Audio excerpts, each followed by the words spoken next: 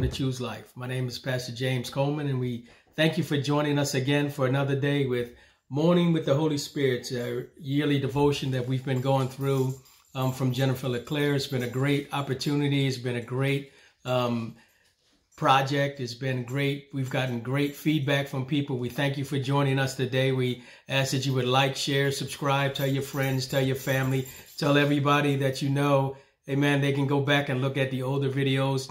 And we believe that it'll be a benefit to you and to everyone else. And it's been a pleasure for us to do it. The, as the year is winding down, um, I'm sure we'll have something for next year as well. We hope that you'll continue to join us. So we're going to go through the devotion today. Um, and then we'll have some scriptures and then we'll pray at the end. And hopefully it'll be a benefit to you, not only today, but for the rest of your life. The topic today or for this devotion is determined to do God's will. Determined to do God's will.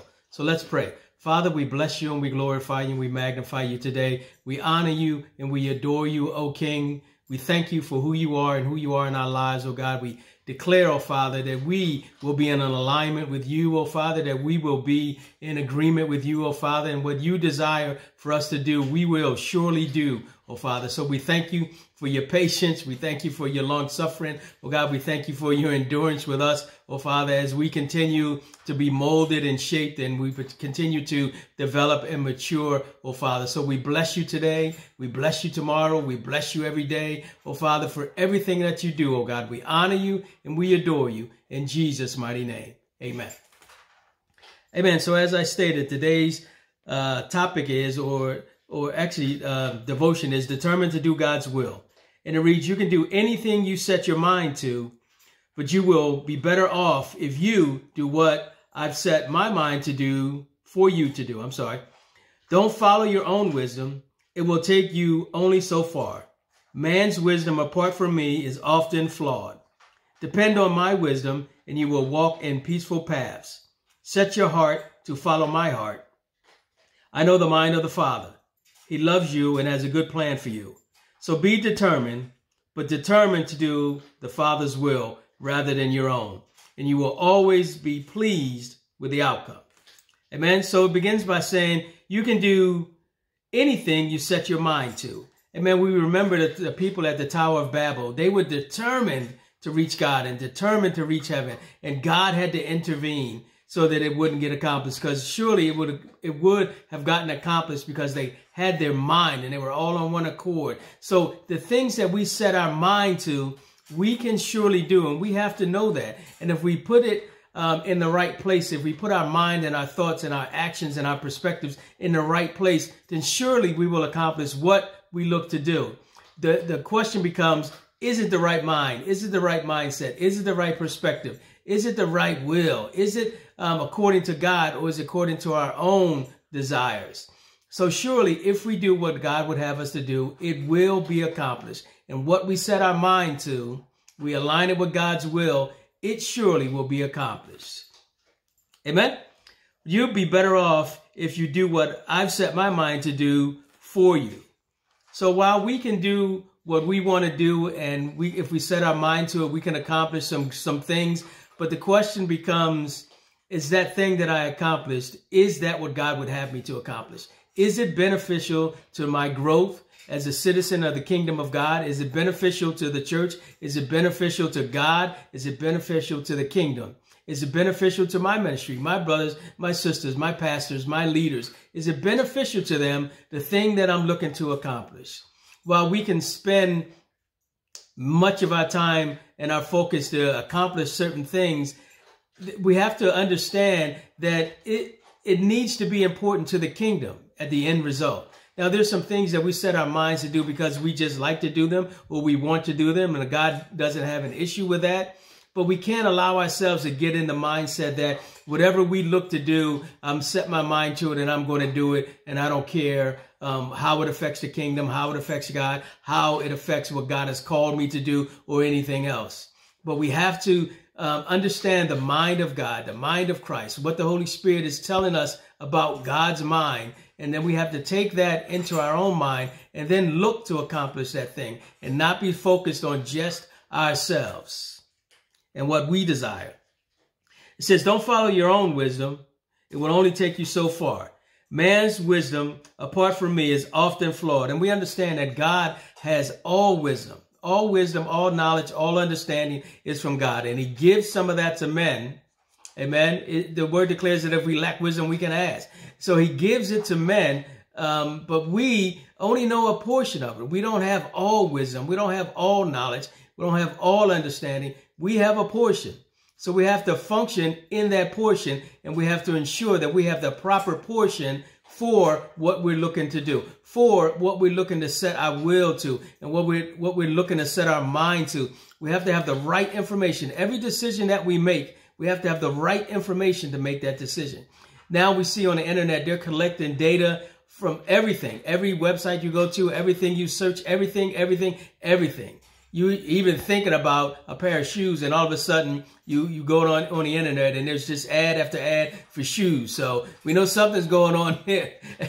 so everybody's looking to collect data and everybody then is looking to take that data and make a proper decision. The same thing applies to us. When we look to make proper decisions, we have to have the correct data. We have to have the mind of Christ. We have to have the intellect and the wisdom of God and the knowledge of God before we make those decisions, before we look to put our mind to something that's going to get accomplished. We can look to put our mind to something and don't have the all the information, and it just um, goes disastrously. We cannot have the information when we look to purchase something and not understand that you purchase this thing, but it doesn't include this because you don't have all the knowledge. So now you buy the thing and you don't have the other thing, so it doesn't work properly. So now what do you do? Do you send it all back? Do you go to get the other piece? Then you're frustrated and, and all these things. And, you know, nobody wants to read the instructions and nobody wants to call tech support or anybody else. But we have to know all the information that's pertinent to the decisions that we're looking to make. And God has all that information. He's aware of every single thing that has ever happened and every, everything that will happen, right? God never says, you know what? I just had a thought because he's already had all the thoughts. It's just us. We say, you know, I just had a thought because that's God downloading some information, downloading some knowledge, downloading some wisdom unto us. And that's why we have a thought because we now have information that we didn't have before. So we have to ensure that we have the information before we set our mind to something, to accomplish something. And that information has to come from God. We surely don't have it because we make a lot of wrong decisions and go after a lot of wrong things. So we have to go after God's wisdom and God's knowledge and God's understanding before we look to set our mind and set our actions to something. Depend on my wisdom. Remember, this is the Holy Spirit speaking. Remember, depend on my wisdom, um, and you will walk in peaceful paths. Set your heart to follow my heart. So we set our heart to follow the heart of the Holy Spirit. I know the mind of the Father. He loves you and has a good plan for you. So be determined, but determined to do the Father's will rather than your own. So we, we have to determine in ourselves to do the Father's will and not our own will, right? We have to say, nevertheless, let, let thy will be done. Nevertheless, we have to say, nevertheless, this is what I want. Nevertheless, not my will, but thy will be done. We, we have to be easy to say that nevertheless. Sometimes that's hard because we want certain things and we have our own will and we have our own things fixed. But we can't be so sturdy and so rigid that we can't say nevertheless. And we listen to the Holy Spirit because he knows the mind of God. He knows the will of God. And when he speaks to us, we have to be able to say, okay, well, nevertheless, not my will, but thy will be done and understand the importance and the significance of the will of the Father being done and not our own will. Because his will, when we look to apply it, will surely get accomplished and surely it will be beneficial, not just to us individually, but to the church and to the kingdom and to other people. All right. And it says, you will always be pleased with the outcome. So we're always pleased with the outcome when we listen to the Father's will. So there's several scriptures here, and it, the they are 1 Corinthians 8 and 2, Ephesians 5, 15 to 17, and James chapter 4, verse 15. So 1 Corinthians 8 and 2, it reads, And if any man think that he knoweth anything, he knoweth nothing, yet as he ought to know. So we confuse ourselves and we um, fool ourselves into thinking that we know more than we know. And we're more aware than we really are. That we're more uh, intelligent than we actually are.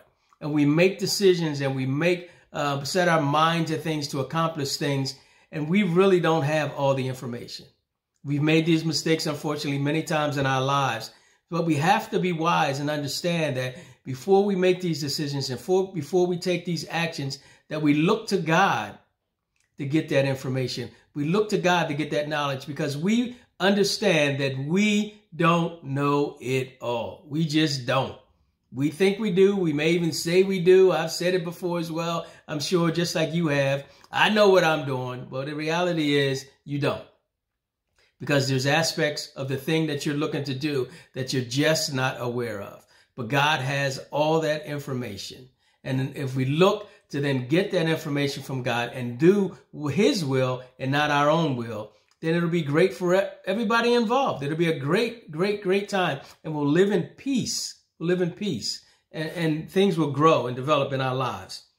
The second scripture is Ephesians 5, verses 15 to 17. And it reads, See then that ye walk circumspectly, not as fools, but as wise, redeeming the time, because the days are evil.